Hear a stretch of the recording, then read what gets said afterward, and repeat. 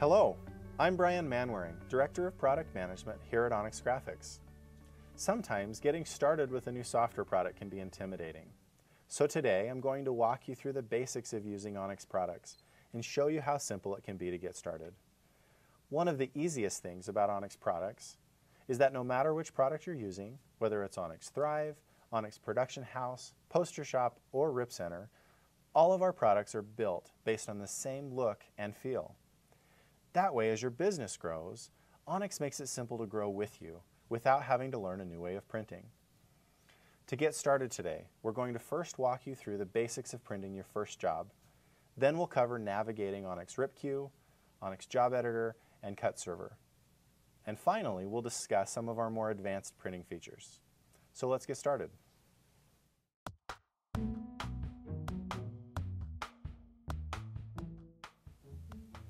The first question new users of Onyx software ask is how do I print my first job? Here, let me show you. The first thing we're going to do is to open the image into the software. So go up here and click the Open button on the toolbar. And the screen that comes up will show you thumbnails of all of the images here in my folder. So I'm going to pick the image I'd like to print, blue car, and then I need to pick which printer I want this to be on. So I've got printer A selected. All I need to do is click Open. That'll bring this, the image into the software and you'll see that it's, it's ripping right now. If I select that image, I, it'll generate a preview over here on the side so I can make sure that's set up correctly. And then all I need to do to print is to click on my printer and click Print Now. It's that simple.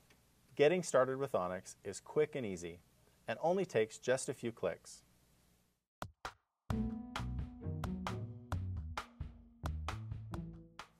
Now, what happens if you need to print multiple copies of an image?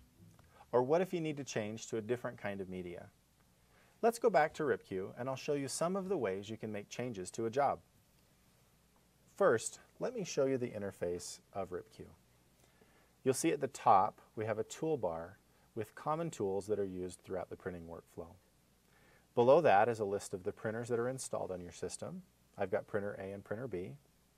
The main area of the software here is the jobs ready to print area. So this is showing you all of the jobs that are being prepared or are currently ready to be printed. And at the bottom, you see a list of jobs that have already been printed. Now this section over here on the right, this is showing you previews of your jobs as well as additional information. So let's go ahead and open up a number of files at the same time. I'll go click open. I'm just going to select a few images I'd like to print. Again, I need to pick which printer I'm printing this on, so printer A. And here's an area which is for job ticket information. So I have an opportunity here to enter some additional information. If I have a job ticket, an order number, or maybe a customer name, I can enter that here. So this job, I'm going to enter this for company ABC. And then I'm going to click open. So all three of those images that I selected are now being brought into the software and they're currently ripping. So if I click on any one of those, you'll be able to see a preview of that more detailed. Or if I click on my printer up here, you'll see a nest of how all of those images can be printed together. Now as we asked, how do we make changes to some of these jobs? So let me open up one of these. Just double click on the image and it brings up another window. I've got a color managed preview here that shows me a color accurate rendering of what that file will look like when it's printed. And I have common options here to make some simple changes to the job. So for example, if I want to print more than one copy of this image, all I have to do is change the number of copies. If I need to change what the media is set to, so it'll print on a different kind of media, I can change that right here. I'm going to change this to photo paper. If I'd like to as well, I can also rotate the image here simply by just choosing the right setting. And then I'll click OK. And again, that image is getting prepared to be printed on that new type of media, on photo paper. So if I want to print this, it's very simple. All I need to do is click on my printer. Now I have it set right now to adhesive vinyl and I changed my media. So let's change that very quickly by clicking Change changing what kind of media I'm using, click OK. And now you'll notice that the job that I set three copies of is ready to print. All I need to do is click print. In RIP-Queue, Onyx keeps it all in the same place, making it easy to navigate and quickly send jobs to the printer.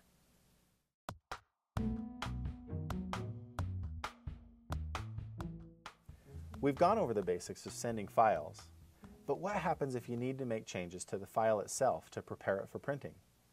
Let me show you an application we have called Job Editor. To open the image in Job Editor, I'm going to start here in RIP-Queue, select the image I'd like to change, and then I can either open the image in Job Editor by clicking on the toolbar up here at the top, or by clicking this Job Editor button on the right. So I'll go ahead and click the button and open this job into Job Editor. Now with the image loaded, you'll see across the top here I've got several tabs that provide me all of the tools I need to prepare my job for printing. The first tab is my printer and media tab. So I've got a choice here to make adjustments to which media I'm printing on, what my print mode is. If I'd like to change what the color management options are for my image, I can do that right here. And also select which cutter is going to be used for, for contour cutting this image. On the Preview and Size tab, I've got the ability to make size changes for my image. So here under image size, let's say I want to make this image 25 inches. I just change that very simply here. And then if, let's say I want to crop the image down, I can do that by just simply grabbing the side and setting my crop to be what I'd like it to be, right there. I've also got options to rotate the image or to mirror it if I'd like to. Some of the other tabs include tiling. I've got a color correction tab where I can make color edits to the image. And when I'm all ready to go, go over here to the Print tab. I can set the number of copies the way I'd like that to be, and then simply click, click Submit. Job Editor gives you an organized place to quickly find all of the tools you need to make prepping files for print easy.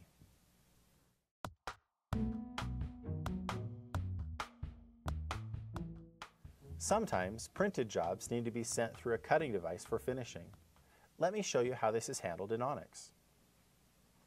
So here in RIP-Queue, I've got several jobs that are needing to be printed. Let me go and find a couple of jobs that are for my customer ABC, and let's get those ready for printing and for cutting. So a new feature here in Onyx 11 is the ability to search for jobs here in the queue. So if I go up in here and I just type in ABC, it's going to bring up all of the jobs that match that customer. So this painted lady job, let's change that and get that ready for cutting. Again, in this job properties window, I've got all the options I need here to make some simple changes. So the first thing I'm going to do is I'm going to select a cutter here under contour cutter selection. I'm going to pick my Graphtec cutter. And the other thing I'd like to do is when I print this image, I want to be able to cut around the edge of that so that I don't have to do that manually. So I'm going to go over here to the Marks tab and choose the option Generate Tile Outline Cut Paths. That'll place a cut path right around the edge of that image. And I'll go ahead and click OK. Now, this job's ready for, for cutting. Let me go up to my printer and you'll be able to see all of the jobs that are ready to print. And there's another one that was here in the queue, this Onyx 11 Shield. That's also ready for printing and cutting. So I'm going to go ahead and click Print Now. The software is going to generate the print it's also generating the cutting instructions needed for finishing this job. So if I go over to Cut Server, you'll see in Cut Server, there's a new job here under my Graphtec cutter. So if I select that, you'll see all of the paths and outlines needed for my cutting. As soon as my print is done, I'm ready to go. I can just click Cut Now.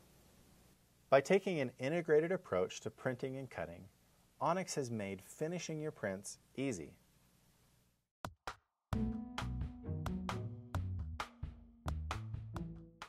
Well, that's the basics, but it's only the beginning. There are also more advanced features to give you great color and more control over your workflow. Here, quick sets and hot folders make it easy to automate your workflow, saving valuable setup time during production. Our new Swatchbooks feature, recently introduced in Onyx 11, provides a quick way of matching those hard-to-hit colors. We also have tools for easy matching of Pantone colors, color replacements, and profiling. Here at Onyx Graphics, we're working hard to give you all of the tools you need to create great prints. Today we've covered some of the basics to get you started. If you're interested in learning more about how to use our products, visit our website at onyxgfx.com or contact your local reseller for more training opportunities.